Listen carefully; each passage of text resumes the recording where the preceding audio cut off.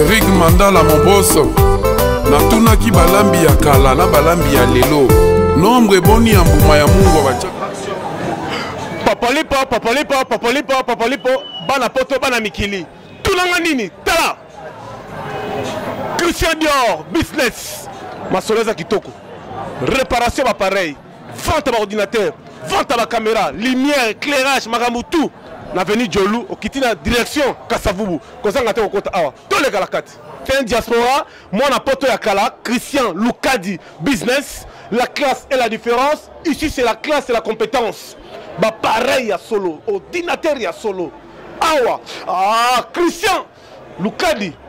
batika ya fanda mwana poto oyo investir na kisasa okomi kaka la direction ya kasavu kote ya immeuble ya vv center otali na pembeni na yo na veni jolu okomona christian lukadi dior business kuna c'est la compétence qui compte tala nalobaki ya bino yango awa bazobongisa bapareil tout ezala pareil euti na mikili bakoki yango te soki oba christian lukadi awa soki apareil na yo ekufi koluka lo place mosusu te christian lukadi Ah, rrr, tout la massa. To tolobi que ce n'est qu'une bataille, la guerre continue. Ah, tolobi, ce n'est qu'une bataille, la guerre continue. Bino nyonso boyoki ex-gouverneur de Kinshasa, André Kimbuta, attendu au parquet général près de la cour d'appel ce 4 mai prochaine bazozela ye aza na bamitif tokolobela bamitif nyonso awa bokoyeba mpo na nini bazozela andre kimbuta andre mushoro andre mushoro asala eloko te toyokaki ndeko na ye eh, gentili bafulu alobi ngai lelo jules azobenga ngai bafulu parce que 60 millions ebungaki tokolebela à suivre nango mes chers amis mes chers frères na sénat ça brûle bato balobi ça brûle au sénat towuti kolanda alexi tambwe mwamba na sénatrice ngoya kitenge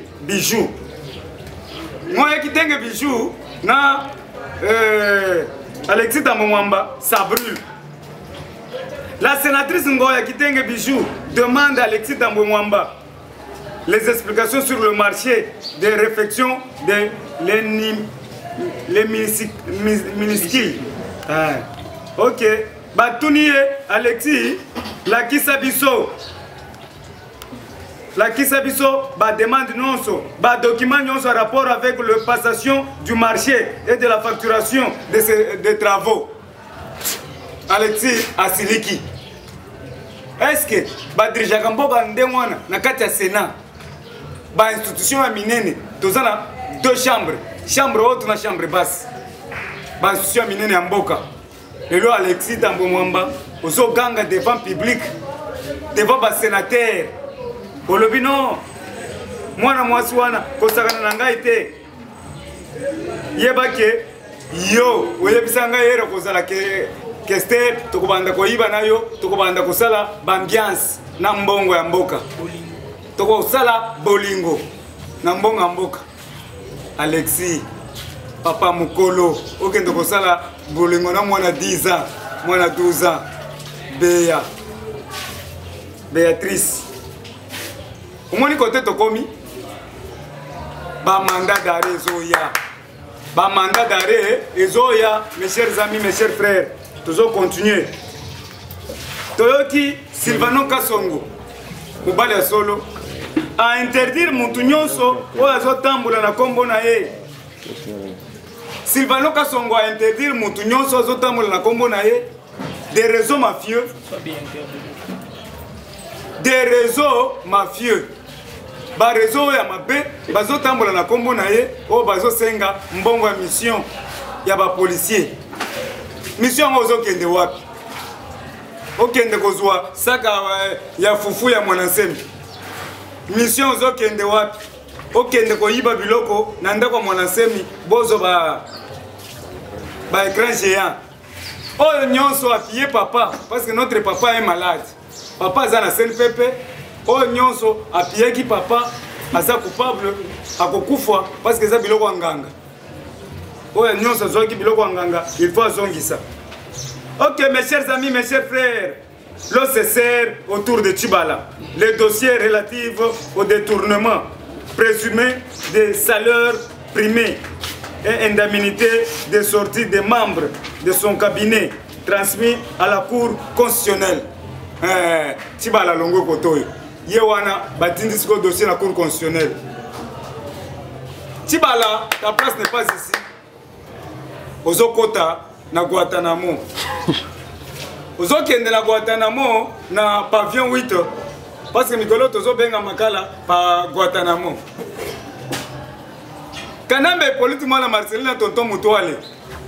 azokangama asali bacrime ya trop awa tolobi trop c'est trop merci beaucoup na paster mukuna oyo azwi courage devant monde mobimba alobi kanambe politi mwana marcelin aza rwandais ifo abima na mboka tozosenga na communauté internationale tozosenga na ambassadeur ya états-unis d'amérique njita ditekembe na amel oyo baluba bayenga ditekembe na espoir ngonga ekoki kanambe politi mwana maselini fo abima na mboka awa jean pierre bemba babundaki na 10 heures babundi na kati ya centre ville mpo babimisa jean pierre akende Jean Pierre abimaki atikeli Kabila temps pendant 18 ans il a travaillé Jean Pierre Bemba azalaki awa te pourquoi pas maintenant Kanambe Polite mwana Marceline tosali passation pacifique akanga bisaka na ye tokotouche ye te abima ye moko akende na Guantanamo akende komitika na Guantanamo trop c'est trop mpo akomi kosala azoya boye bake batie bato na bicartus bake batie bato na quartier 1 bopesi bango 2000 babanda koyembela yo china rambo ata bayembeli yo eske yo kozonga na mboka oyo c'est la terre en vie il faut kufwa obotama mbala mibale tu es senateur en vie que signifie sénateur en vie est-ce que constitution oyo batayaki yango na veste ya kanambe polite mwana marceline est-ce que bozotanga yango te tu es sénateur en vie sala na yo baembrouillement yeba ke okokende guantanamo parce que osali 4 crime contre l'humanité osali crime ya génocide osali crime de guerre osali crime économique osali crime contre l'humanité à chaque crime 25 ans sikoyo yo okosuka wapi na guantanamo kanambe politi mwana marcelin obeti obeti eh, arma tungulu obomi ye na makofi pu pu pu obomi ye lokola jésus de nazareth akufi obomi marie misambo obomi papa oh, papa oh, muloto papa wemba mundabi obomi bato nyonso wana desespere la guerre de kamwana nsapo la guerre massacre de tingitingi massacre de makobola massacre de yumbi fausse commune ah, mais tu es plus que les lions yo akomona na kati ya zamba mais asa atondi na ye atiki yo mais yo tala kanambe bakanga ye kasi baboma ye te baya na ye vivant akende guatanamo ok mes chers amis mes chers frères tozo continue parce que makambo eza ebele ya koloba il y a un monsieur qui s'appelle intouchable ah na kati ya mboka un monsieur qui s'appelle intouchable avandi pembeni ya prison ya makala avandi pembeni na avenue nyonso face à face ya prison makala na école technique bumbu balobi il marche avec des moura azoloba ngai naza intouchable ah état de droit félix antoine tshisekedi tshilombo moko ya ntombolo yoka bato bazomibenga ba intouchable na avenue nyonso nyonso face à face na prison ya makala azotambola na bamura balobi il est l'ami intime de zoe alors ami intime ya zoe akolakisa biso wapi zoe aza wapi tozosenga papa gilbert kankonde vpm zwa biki na papier avandi na avenue nyonso en face de prison ya makala na école technique bumbu il marche avec des mur alobi azali intouchable baconseiller nyonso na kati ya présidence bozwa bike na papier josé mbuyi josé mbuyi, mbuyi. conseiller en matière sécurité ah, merci beaucoup conseiller en matière ya sécurité josé mbuyi mm. josé mbuyi place ozali zwa biki na papier ye ye monsieur azotungisa bato kote ya bumbu en face ya makala alobi aza intouchable ah na vie nyonso soki bokomi kaka wana na vie nyonso botuna bolakisa biso intouchable bokomona intouchable camarade ya zoe zoe asa kimi ye awa na kinshasa azo intimide bana mboka hey. Eh.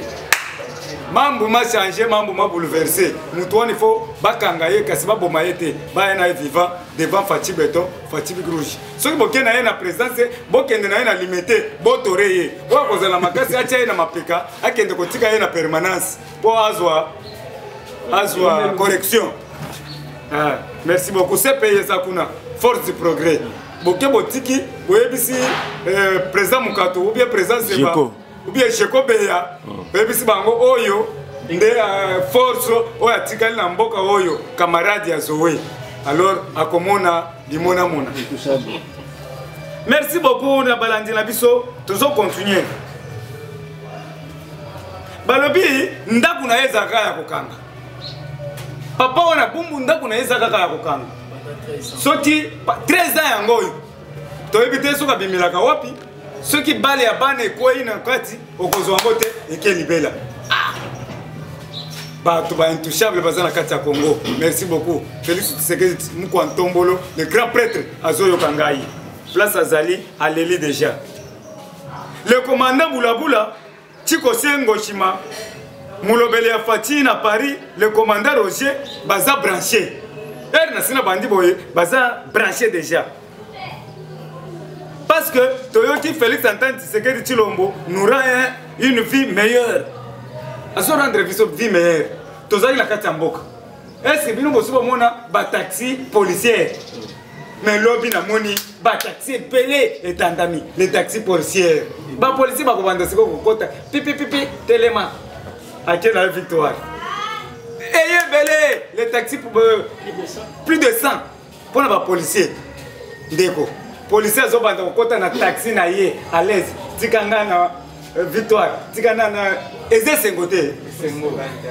plus de des interventions plus de 100 baintervention soki balobi ale moto wana na bombu batindi 100 eye bazwi yo avec honneur okei kondima mes chers amis tozo continue mpasi makambo eza ebele félicitation na félix antoine tshisekedi tshilombo moko antombolo le grand prêtre babengi ngai na butu mobimba nalali te na kati ya guadoli te eh, président gilles aza mondial président gilles aza partout nazoyebisa bino na kati ya guadoli te motiliki epeli courant partout balobi courant partout na guadoli te epuis eh, na mai eye partout félicitation na olie bapesa félicitation na pati balobi félicitation na bakambi ya idps batelemesi badrapo ya idps na kati ya guadolite tobetela bango maboko makasi eza esengo c'est-à-dire lokumu wana ezongeli na jean marie kabunda kabund 3600 giga na augustin kabuya mwana bule te parce que baza miso claire bana mbandaka oyo tozosoutenir mobutu seseseko asalaki mosala na ye kitoko soki malade te la ville est alimentée du courant de l'eau potable l'udps règne au guado c'est-à-dire place nyonso ezalaki eh,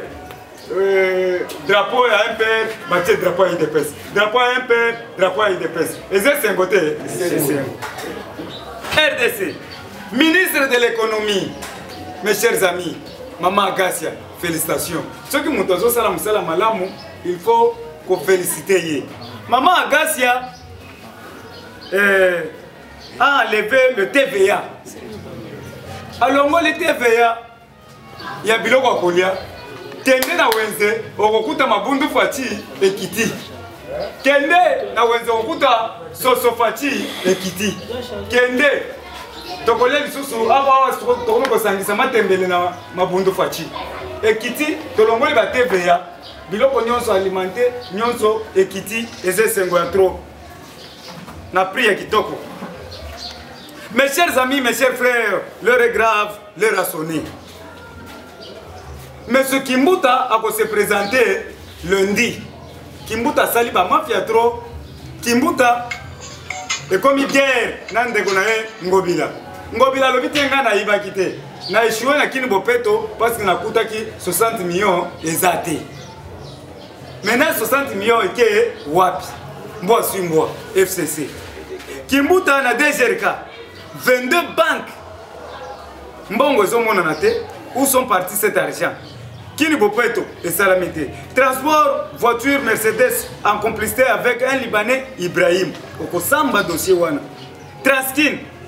on ne paye pas le taxe par un Chinois. Chinois, na kati ya mboka na biso na Congo, azofuta taxe te. Est-ce que ngai Jules, nakolongwa awa, nake na Chine, na,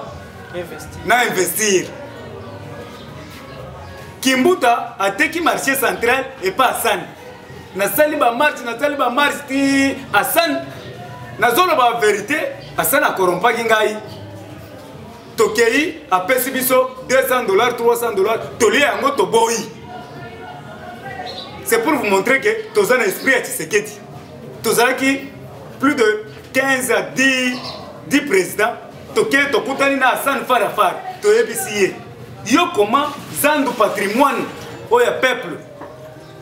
ozwi yango en otage monsieur hassan alobi ne vous en faites pas akotisi biso na restaurant ya kitoko tobandi kolia tobandi kolia toboyaki kutu biloko ezalaki cher toliaki te batie gato ya boye 10 dollars tolobi te pesa biso mbongo na biso tokolia te biso tokolia libanda sucre 5 dollars toboyaki mbongo ya mboka tolobi pesa biso mbongo mais 60 abimisi 300 dollars apesi biso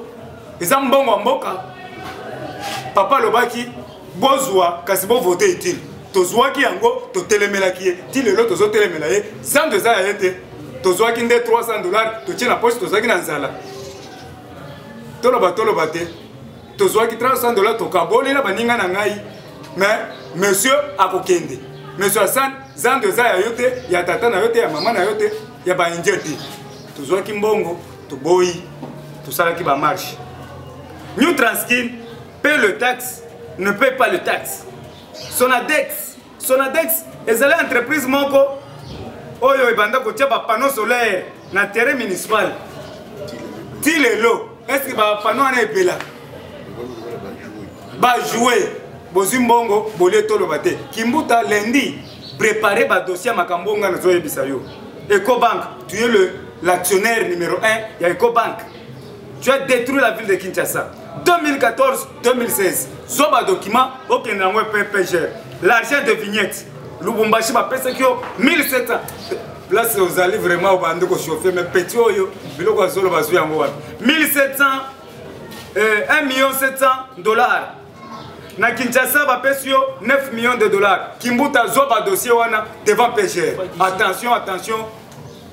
mambo maso masobele mwana mama mambo maso masobele ah, yango tolobi awa mambo maso masobele kisalume banda oyo nyonso alonaki nguba akorekolte nguba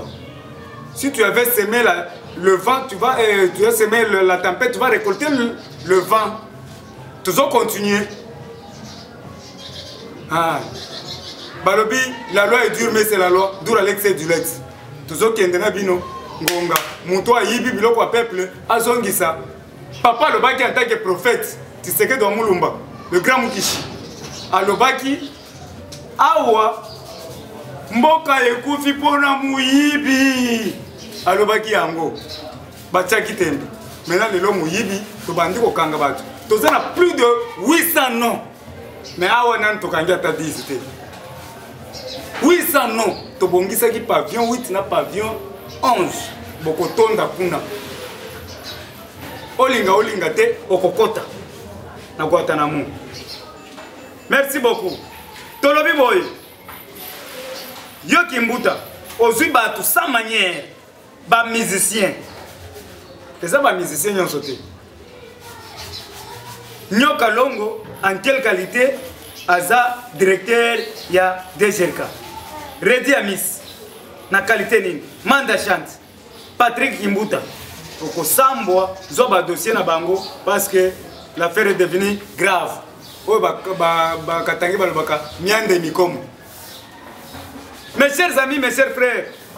tolobi boye de quartier aza wapi toyebi ye te awa na babandali chef de quartier aza wapi mosala nini asalaka yo bourgmestre ya bandalungu bato bakufi na mai na se bapotopoto ekoteli bango na bandako ata kokende kotala mbongo na yo ezalaki kaka ya bibembe bato balela bibembe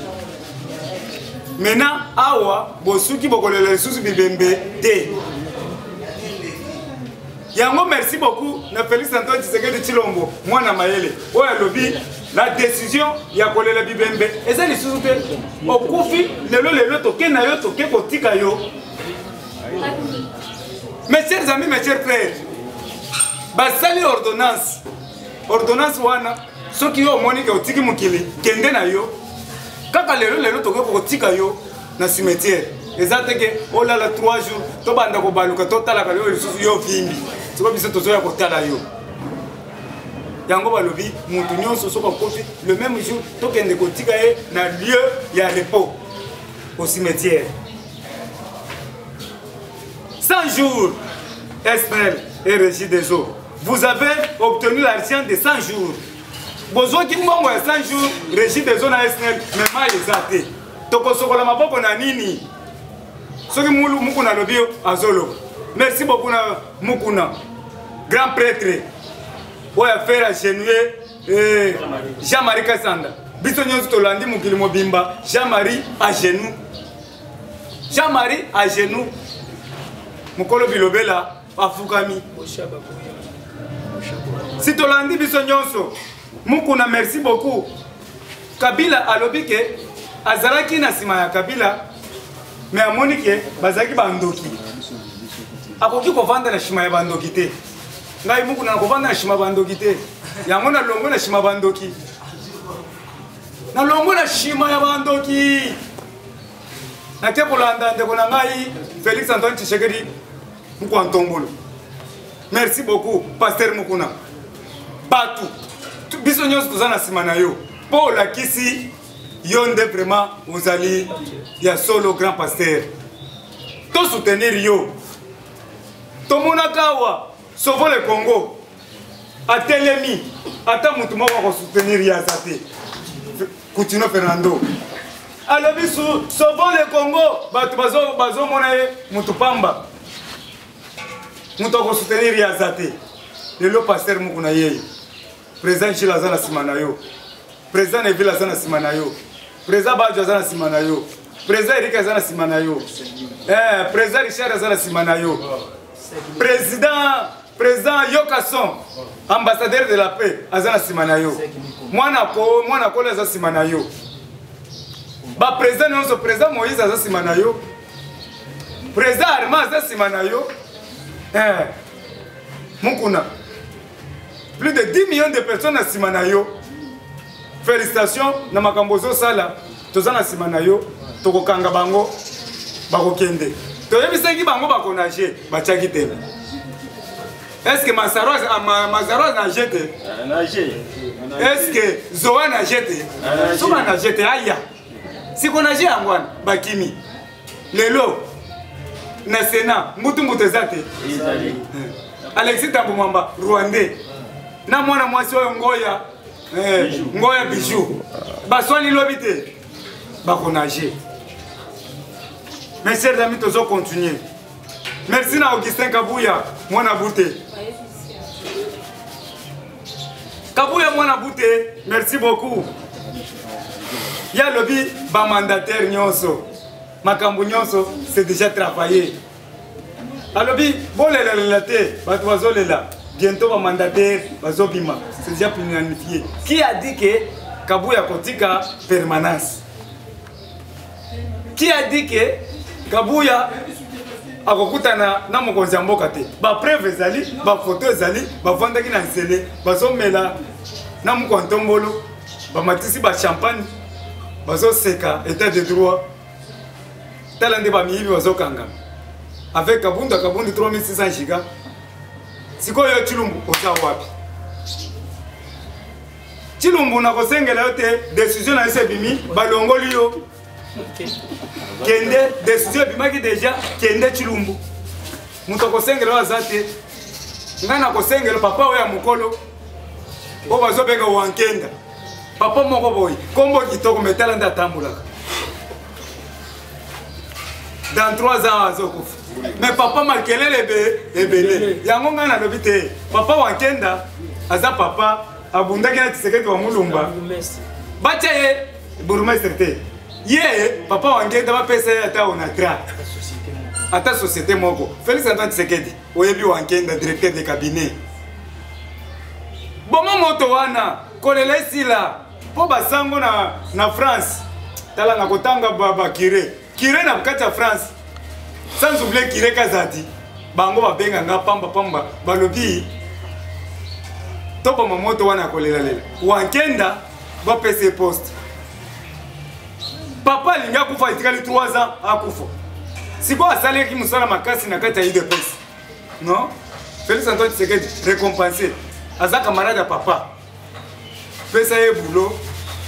agere wankende zwa nimero na ngai soki bapesi yo obengi ngai biso mibale toza na mosala te wakenda 081 57 24 609 nasengeli obulo koloba lisusu te tika nga moko nasengela yo yo mpe soki ozwi obengi staff ya gile ezalaka bongo wakenda ozozwa bulokola mingi te mes chers amis mes chers frères général major kiwewa kiwewe christian le grand prêtre asalaki remise et reprise devant le chef maison militaire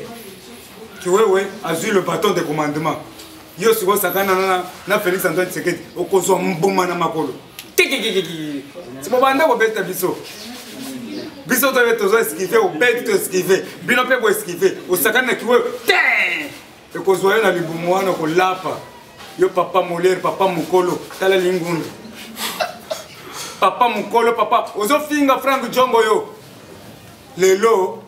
okomona ofingaki papa ofingi frank jongo papa impoli estce bajournaliste bazala ndenge wana bainjure oyo ozofinga wana bana bazofanda na écran ozotangisa bana nini papa moliere ozobengaka goro virus goro virus estce eza normal un journaliste bakanga ye me kasi baboma ye te baya na ye vivant tokende na ye na cpi na, na permanence azwa chicote président seba président mokato tolukisa place papa wana azali kasi baboma ye te baya na ye vivant batya ye na mapeka moto akotya ye na mapeka ye na permanence aza na récompense papa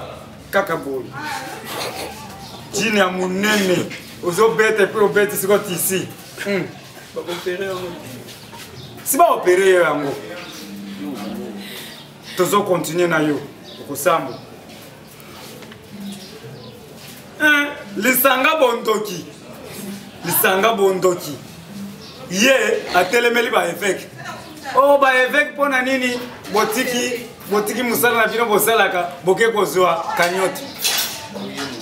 eh, moyibi ya liboso lisanga bondoki papa azwa mosala te merci boko na papa mbongo alobi ngai nazosala mosala ya mboka nazwi libenga na dirige yango na kimia nyonso fridole ya mbongo merci beaucoup na papa papa oyo ya bokondoa merci beaucoup na bapasteur nyonso reveil merci bozwi bakese na bino ya ba 67 million bokabola yango malembe malembe kasi bolia yango lokola lokola kamere wakanyinyinyi te bokokangama malembe malembe bopesi peuple bino mpe bozwi ndambo bopesi peuple bino mpe bozwi ndambo soki bolie lokola wakanyinyinyi bokokangama waka jingijiingi tala lelo nde asuki ere nazoloba boye ambrose tete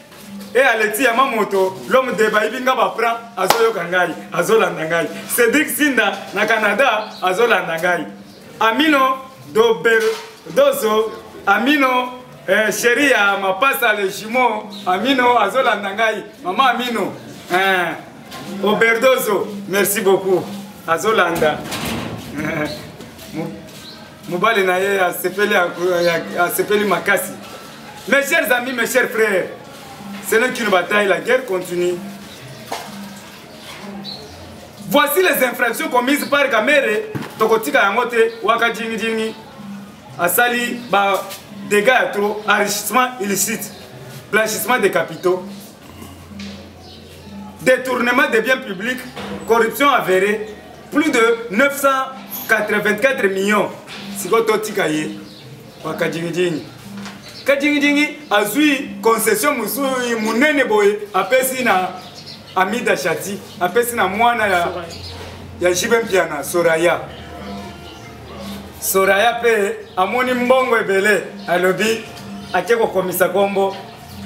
eh, soraya kamere yo cibao te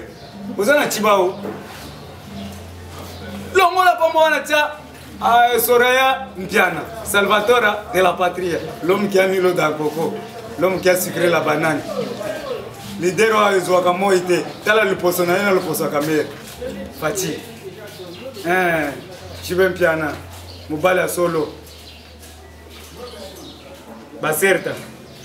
mes chers amis tokocontinue parce que balobi kabunda kabunda arencontre arencontraki félix antoine tshisekedi tshilombo tous les trois ont dîné ensemble ezalaki kitoko makasi kabund mpe ayambi le membre du cash pour leur dire que la, la coalition continue malgré l'absence de wakadinidini Mes chers amis, mes chers frères, ma bureau etikali vide. Na, per, na palais du peuple, palais de la nation, 20 bureaux eza vide. Sikoyo bolobi nini? Na 20 bureaux, coordination pe ba parlementaire debout, toza 20. Faut tokende kuna na ba journaliste na biso parce que tosali musala Félix Antoine Tshilombo Tshisekedi alandaka biso. Récompense ezali tobundi tobundi awa tokomi na conservation du pouvoir tozo continue na koconserve pouvoir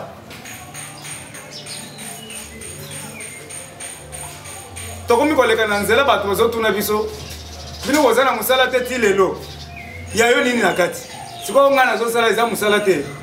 zela faci beton faci bic rouge kala mingi te azosina ordonnance lutte contre la corruption aner tokokanga bino en désordre bacombatant averti babureau 3 boyoki Sénari, euh, sénateur Evariste Boshap demande d'avoir donné alobi ngai natikala kopesa pasteur mukuna mbongo te adementir yango alobi yo jean marie kasamba mpo na nini oyo ozokosa makambo olobi evariste apesaki yo mbongo ngai natikali kopesa ye mbongo te renaissance mpe eza ya eza ya fcc te renaissance eza ya mokuna soki bino bopesaki ye mbongo eza mbongo ya mboka eza mbongo na bino te mbongo ya mboka achange na ye leko te akomi na le peuple d'abord mukuna alobi j'étais en fcc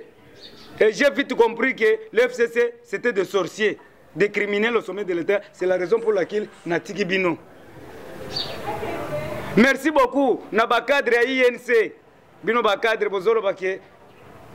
amida atekaki lopango ateki lopango mibale mpo tosala kampagne siko lelo bokangisi kabila bokangisi waka jingijingi kamere eske biso bato tokangisi yo bia eza état de droit ya ibi a détourné plus de 984 millions azwi mbongo mosusu bazose mesure na bana yango tolobi kamwana oyo kazosakana na dollar il faut bakangaka yango kakende prison le contrefacteur puni de servitude pénale na parcelle wana o oh, parcelle bazoloba ke amida ateki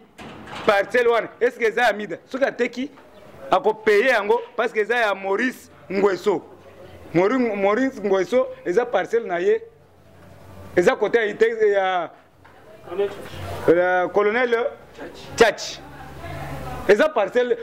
omoni nde bozolo créer ka baproblème parcelle wana ya bino soki amida ateki yango akozwa problème eza ya maurice ngweso soki ye ateki yango akozwa problème bolingi tobanda koloba lisusu totake lisusu amida tokotake ye te yo ministre ya transport manzengu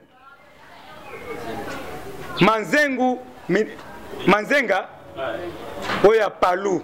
bobosana bomemaki bo, bo, yo palu amemaki mwana na mokongo azwi kanambe politi mwana marceline amemi ye na mokongo sikoyo mwana atie atie kizenga manzaka